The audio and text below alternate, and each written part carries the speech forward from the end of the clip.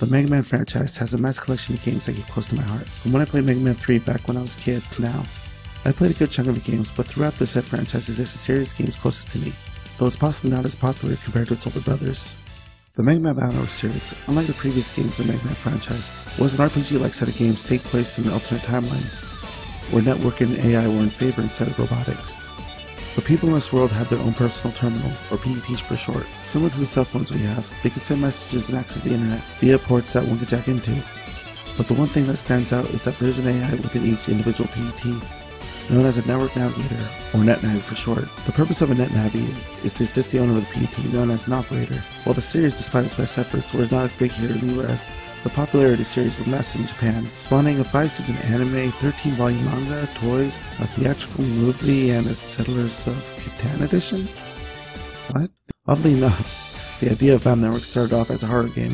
It started with, what should we make for the GBA? It had us making a game that links to your heartbeat with a wearable device theme was having fun while your heart pounds horror game. But due to the popularity of card games at the time, the staff decided to go down that route to follow the trend. We spoke about this earlier. At the time, card games were popular, so it started with the card game only Capcom could make as a theme. In addition, this project's goal was decided from the start. It was decided that Rockman's IP would be used. The system was a mix between Rockman's action and a card game. This became data action. In short, the cards were replaced by data as battle chips, and using those to fight was the Rockman character adding to the fact that the worldview, quite appropriately, a network society. And just like that, those became the setting and system for the very start. I think it's now time to dive in and check out the Battle Network series with six mainline games on the GBA. I won't be covering Network Transmission, Battleship Challenge, and 4.5 The Real Operation. The first game released in spring 2001 in Japan and fall 2001 in the US and Europe. To sum up the story you'll be playing, it's about a young boy named Lan Hikari, an elementary school student who takes net battle over studying. His NetNavi Megaman.exe, a program that keeps and has hidden potential, and their adventures revolve around saving the internet from the cyber terrorist World 3, or WWW. This series was a major change in the standard Man formula. Instead of the iconic jumping and shooting like in the classic NEX games, this series took a more RPG route of gameplay, but you still see some familiar faces as some of the robot masters from the classic series, such as Gutsman, Roll, and Protoman make an appearance. There are two worlds in which you can explore, the real world where Lan resides, and the cyber world where Mega Man can roam. Each has their own unique layout where you can venture. As Lan, you can run through the real world and find places that Mega Man can enter and explore explore. While as Mega Man, you can run around the cyber network, search for items, and fight enemies. Fights take place in 3x6 grid-based arenas, with the enemy on one side and the Navi on the other. Enemies come in a variety consisting of your standard basic enemies or other net navis, both of which having their own methods of attacking. Your always attacking can either be the standard Mega Buster or using battle chips. Battle chips are storage devices that you can insert to your PET to let your Navi do a slew of functions in the battle. Each battle chip has a letter attributed to them, called a code. Matching the same letter of code can let you choose a variety of battle chips. Some battle chips and enemies have an elemental affinity attached to them as well. There are four elements, fire, aqua, elect, and wood. Each have their own strengths, weaknesses, and attributes. Fire tends to do massive damage and beats wood, but loses to aqua, obviously. Aqua attacks multiple enemies and beats fire, but loses to elect, duh. Elect attacks Try saying that fast five times. Elect attacks paralyzes and beats Aqua, but loses to Wood. Wood attacks for the most part causes enemies to not flinch, giving you a chance to strike again and beat select, but lose to Fire. No duh. you can also use identical battle chips if they don't have the same letter code. When you pair up certain battle chips in a specific order, you can unleash a powerful attack known as the Program Advance, which can either be an enhanced version of the selected battle chips or a different attack entirely. You keep battle chips in folder, which you can hold up to 30 at a time. There's also a limit to how many of the same chips you can have in set folder. After battles, you gain currency in the form of Zenny, which you can use to buy more chips, upgrade your buster, or health. Around the cyber world, there are items called mystery data, which differ from what the contents might be, ranging from Zenny to battle chips to even upgrades from Mega Man. There are also items called sub chips you can purchase throughout the cyber world. These items can heal you, prevent enemy counters, and unlock mystery data. Though the first of the series, it was one of the last games I finished. Mega Man Battle 2, released in December 2001 in Japan and 2002 everywhere else, was a massive upgrade compared to first. The story revolves around Man and his friends going on summer break after the fall of World 3, and with a new threat in the name of Gospel, a net mafia whose plans are to clone the ultimate net navi based on EXE. This entry seemed to have a darker tone in regards to the music and the unnecessary swearing. Okay, you're sipping. You ready to rumble? Hells yeah! and as such with the new game, there are new enemies to fight, new battle chips, new program advances, and new navs to encounter, including Cutman, Airman, heck yeah, Shadowman, and more. In fact, like how Capcom did for previous Mega Man games, they made a boss character contest which people could send their own designs to have a chance to see in the game. The first design became Gate Man, an optional fight that made it in the game.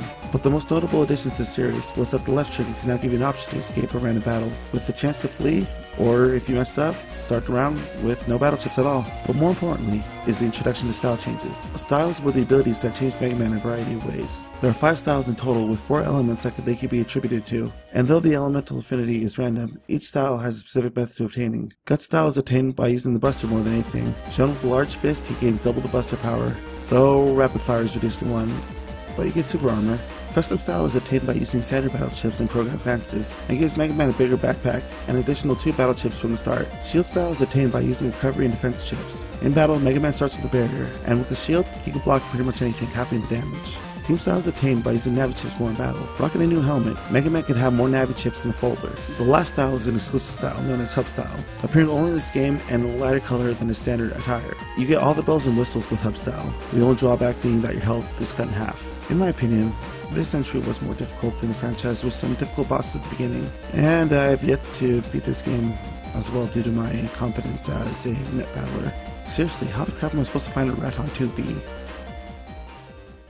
The third in the series, Mega Man Battle Network 3, originally released winter 2002 in Japan, is probably the most popular in the series, and started a trend that we'll see onward, which that this is the first game in the series to have two versions. In Japan, an enhanced black version released in spring 2003. When localized, white and blue were based on the differences between the original game and black, but had the various bug fixes from black and was released in summer 2003. I don't know why blue is the color they chose, because there was a black version in Japan, but whatever, with new Navi showing up like Flashman, Bowman, and Metal Man, and three boss missions, Kingman, Mistman in white, and Bowman in blue? Okay. This game takes place not far from Battle Network 2. Battle Network 3 shows us the return of World 3 as the main antagonist, and a tournament to find out who's the strongest net battler, known as the N1 Grand Prix. Tournament arcs are the best ones, huh? Many changes in this game has now become the standard for the series. Battle chips were now separated into three categories, Standard, Mega, and Giga chips. While standard chips work essentially the same as the previous games, Mega chips house all the Navi and other strong chips, while Giga chips were much more powerful, tide changing chips. But you can only have a limited amount of both said chips. With Mega chips, you can only have five of them, while Giga chips, you can only have one. The next change, which is probably the most important, is a Navi customizer. And as the name suggests, it suits Mega Man to be equipped with how the player wants. Throughout your playthrough, you'll get programs that'll help you traverse the net. But more importantly, you can use Navi customizer to increase your health, buster power, speed, and charge time, removing the permanent power-ups aesthetic from the previous two games but you still have to buy those HP memory items. Unfortunately, with the new Navi customized in the game, you can now only have one style, and the whole style change mechanic just got some nerfs and buffs, with the fact that you can only get the specific abilities of a style on programs now depending on how long you play as the style in question. Gut style now has rapid fire gimmick by rapidly pushing the B button. You also get the break charge and break buster programs that can make your buster and your charge shots damage guarding enemies, with the nerf being that you need to get super art program if you want to avoid flinching. With the custom style, you can get a death battle chip after ending a fight if you get an S rank without using your buster or a Navi chip, and also starts with one extra chip instead of two, which you can increase with the custom run programs, with that one being compatible with multiple styles and Mega Man by himself. And you can have more with the custom 2 program. Shield style loses the block ability now that it's programmed, but you get a better shield program which nullifies non-breaking attacks, and the reflect program which, will flex, which can damage navis in the same row. Team style, if you get an S rank in a navi, in Team Style, if you get an S rank while in a Navi battle, you get a more powerful Navi chip. Though it can only have 6 Navi chips without any programs like Custom Style, you get 2 programs with one that you can use for the other styles respectively. Only this time the programs focus on Mega chips, with the Mega Folder Plus 1 and Mega Folder Plus 2 respectively. Like the previous game, there are 3 secret styles. Well, one that is shared with versions, and one exclusive to each. In blue, you get the Shadow style, which is given to you after you use invisible chips over the other ones. The Char Shot doesn't do any damage, but instead turns you invisible. And if you stick with it, you gain the Shadow Shoes, which lets you move around cracked panels without you breaking them. You gain the Full Shoes, which avoid all hazardous panel effects minus poison. And also you get the Anti-Damage program, which works like a Reflect, but you now throw 3 shurikens at your enemies. In white version, you get Ground style, which is gained after using panel change chips, and with the set style, your Charge Shot now breaks whatever panel it hits with and with set style, your charge shot now breaks whatever panel it hits. With the programs you get, change the battlefield to either grass, lava, ice, or holy.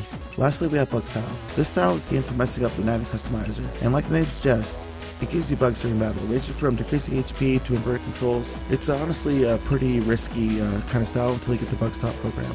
With how heavy the story can get and what to do in the post game, it's understandable that this one is well loved by fans.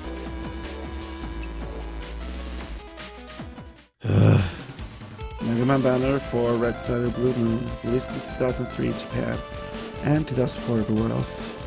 In my opinion, this is one of the weakest games in the series. Like the previous game, uh, games, the story revolves around another tournament with a new criminal organization called Nebula, who wants to destroy the world, I guess? The actual story itself is not really important as the others, because it mostly centers around the tourney. Um, the plot is really bare bones in this game. The game brings back some old Navis, such as Numberman, Fireman, Thunderman, and Woodman. The game brings back some old Navis such as Numberman, Fireman, Thunderman, and Woodman, and new Navis like Shademan, Searchman, and Aquaman make their first appearance. However, there were many changes that happened to this game games, much like the previous entries. First change is the new theme that replaced the jingle that was used since the first game, which was an alternate version of Running Through Cyberworld. Updated art sprites and portraits that differ from previous games. Wind, Sword, Break, Recovery, Crack, Plus, Invis, and Obstacle are new elements added for battle chips. And of course, the most important is the battle system. When your first battle starts, you notice that the add button is not there anymore, as with the removal of three spaces of the extra battle chip slots. I forgot to bring it up while we were talking about the first three games. If you select a number of chips and push the add button, for one turn you go without any battle chips, and once the custom bar gets full and you open the custom window, you receive the same number of battle chips you've given up that turn. But now we have the emotional window, which shows us the condition Mega Man is in during the battle. Full synchro will be the first, well, second I guess we count the normal emotion as the first emotion you'll obtain and hopefully the most often state you're in. You obtain full synchro by using a counter hit with non-dimming chips, giving your next battle chip double damage and showing enemies when you're able to counter so you can still be in that state. Anger is attained by surviving a massive damage dealing attack, which gives you super armor and a battle chip multiplier for a brief moment. Anxious is something that everybody's in. The anxious state happens when you've been playing poorly, either because you've been taking constant hits from the boss or you're just a bad player and why are you playing this game dude. But when you're in the anxious state, something happens that could also be a potential game changer if you know how to use it. The dark chip. The dark chips are chips that emerge when you're in the anxious state. In the chip select menu, when you see the dark chip, you can literally hear the power that comes from them. However, if you decide to use one, not only will you have a bug factor in battle, but you permanently lose one health point. With the events of the previous game,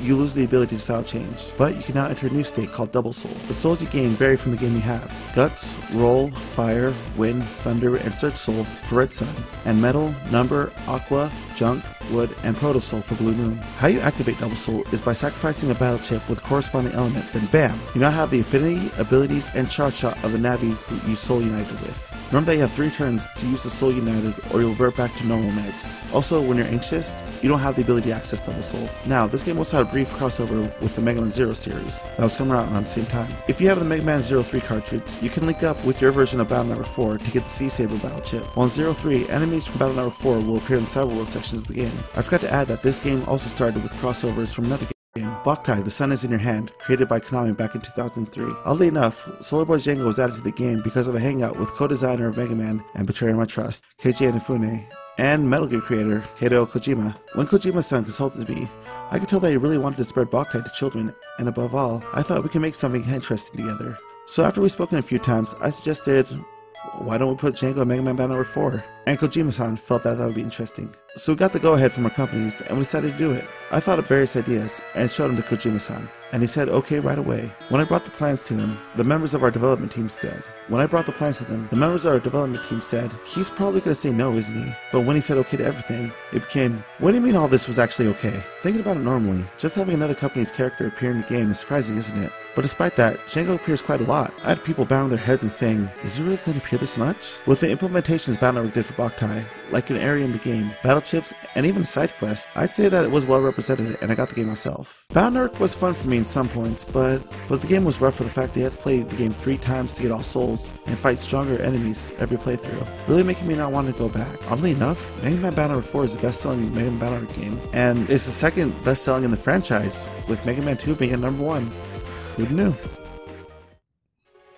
Mega Man Battle 5, Team Colonel and Team Proto Man are my favorite games in the series. Team Proto Man released back in December 2004, and Team Colonel releasing in February 2005 in Japan, with both releasing in December 2005 for the US and Europe. The story takes place around a month after the previous game. An attack on the lab Lan's father works at occurs by Return to Nebula, kidnapping Dr. Ikari and the Navis Lance friends had, causing either Chad, the operator Proto Man, or Baryl, the operator Colonel, create a team to stop the revived Nebula and rescue Navis and Dad. Nightman, Napalm Man, Toadman, and Magnum Man are some of the Navis that make a return to the series, and Gyro Man, Medi, and Tomahawk Man, yes, are some of the new Navis that make their first appearance. Art-wise, these games don't really change much from Red Sun and Blue Moon, and there hasn't been any big changes to the battle system other than Chaos Unison. Chaos Unison occurs when you sacrifice dark chips, which are now more available, as up to three can be put in a folder, transforming into a dark version of the soul that matches the element and give you one turn to be in that form. When you use Chaos Unison, The charge shot becomes a dark chip used, but it's also out of candle. If you don't time the charge right, a dark version of Mega Man will emerge and fight against you.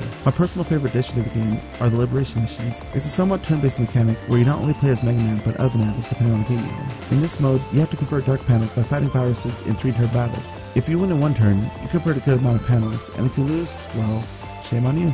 Dark panels come in a variety, so you have to think about how to handle them. There are three choices Navi can do while liberating. The standard liberation, where you fight as I mentioned. There are abilities depending on the Navi, which can either attack multiple panels, protect allies, or attack enemies above panels and also pass. Liberation missions are always at the end of chapters in the game, so unfortunately, there's not a whole lot of missions in the game, but you can always go back to previous missions to see how fast you can beat it. Like with Battle Network 4, this game crosses over with the Boktai series, with returning battle chips and a Django Mega Chip. Though now, if you or a friend had Boktai 2 Solar Boy Django, you can connect via link cable and have a battle with Shademan.exe to see who can beat him the fastest. There is also the Nintendo DS port of the games called Mega Man Battle Network 5 Double Team DS that came out back in 2005. It was an enhanced version of the game where you could choose either version of the game you want to play. The additions to the game itself has rearranged music, minor voice dialogue, a new party system where you can have two more navis with you during non-plot related parts of the game, transport chips where you can switch navis from the other version of the game, and a new pinch emotion, which is somewhat like Anxious, but you need to use the DS mic to get Mega Man out of the state. And because this is on the DS, there's content you get from GBA games as well if you put them in the bottom slot. Depending on what game from the Battle Network titles you put in, the battle music will change to a rearranged version of the game's battle theme and some extras. If you have the base icon in the GBA ports of either Team Colonel or Team Proto Man, you get Race Cross, a powerful form that replaces the base Man. And if you have Boktai 2 Solar Boy Django in the GBA slot, you get Soul Cross, a form that gives Mega Man Django's weapon as a charge shot, and some other benefits. Like I said, this is one of my favorite games in the whole Mega Man franchise, and I'm always excited to go back and play it. I really need to get that team again.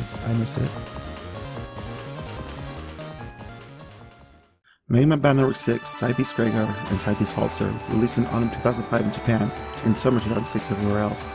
It is the last installment of the Mega Man Battle series, and the second series in the Mega Man franchise to conclude, the first being the Mega Man Zero series that ended with Mega Man Zero 4 back in 2005. This game has a sense of finality as soon as you hear the title theme, which in my opinion is epic but saddening. Sharing the sense of sadness, the story starts off at the elementary school with everyone ready for graduation, it is then when Lan announces to his classmates that he is moving due to his dad's job transferring him. I can relate to this since I was a kid, my family moved quite often.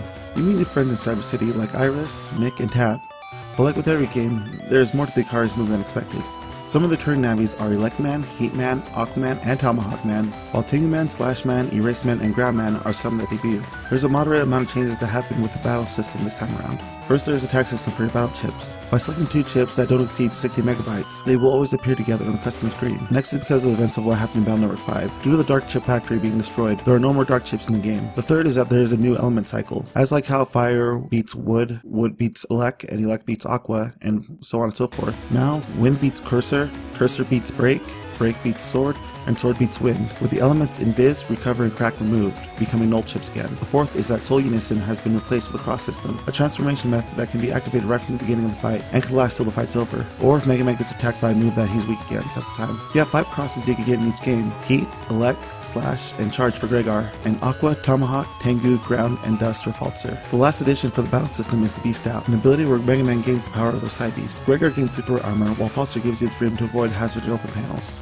When he exhausts the turns, you can hit the Beast button again to trigger Beast Over, an all-ditch effort that makes Mega Man invincible and gives your selected ships double power. But Mega Man will become uncontrollable for the entire turn until the custom gauges are filled, which then the custom screen will automatically open, with Mega Man getting completely exhausted with his health gradually decreasing and his buster firing slowly and dealing 1 point in damage. One of the biggest removals from the game is the disappearance of any Boktai references. Due to how low the sales were in the West, the third game, Boktai 3, Sabata's Counterattack, was never released internationally, causing a good chunk of the endgame area and side quests removed from the game. This is unfortunate because in the endgame you can enter an endgame area known as the Graveyard. The Graveyard is an area that gives a more somber sense of finality. In the US version, there are tombstones with names of navis that were in Battle Network 6, while in Japanese versions, there are tombstones for every navi from every Battle Network game release. There's quite a bunch to do in the endgame, but it's kind of shame really that they took a chunk off that, making, in my opinion, the game feel a little bare compared to previous games. But when you see that final screen, it hits you. This is it. The series is over. This was actually the first time I cried for a video game. I played the series when I was junior high with the ending in my junior high school. There was an empty feeling I had afterwards until Mega Man Star Force was announced a year later, and there was a glimmer of joy that I felt as a fan of Battle Network. And though there were knocks to Battle Network, including a side quest that featured Mega Man.exe for a brief moment, if you inserted any Battle Network game into the GBA slot on the DS. Thinking of it now, I kinda wish that they should have held off making Star Force so people could let the ending Battle Network sink in a little bit more. As Capcom seemed to attempt to make Star Force as big as Battle with toys, manga, and an anime, it seems like there was not enough traction to get the ball rolling. There was an enhanced port of the original Bound Work game released in 2009 in Japan, and added Star Force Mega Man, as well as an original chapter involving him, but the game didn't sell well, which was, as well with the low sales of Star Force 3, a catalyst for canceling the production for Star Force 4, which would involve the descendant of Lan Hikari. While Star Force only had three games, I feel like the third game in the series ended well enough and makes Star Force unofficially, well, in my opinion, the third Mega Man series in the franchise to end. Like I said before, Mega Man Battle Network is one of my favorite series in the franchise, and while it's not as popular here than it was in Japan, there's still a big group of fans here stateside, making music, art, fan games, and even games replicating the battle system. I even used the music from one of the attempted fan games back in the day for the channel, and while we wait for an announcement for a collection of the games to be released, like with previous Mega Man games, I can say that I love this series, and even though it ended, I hope Capcom keeps bringing it back to life, like how they did with the other series in the franchise. And as long as there's viruses out there, we'll be here to bust them.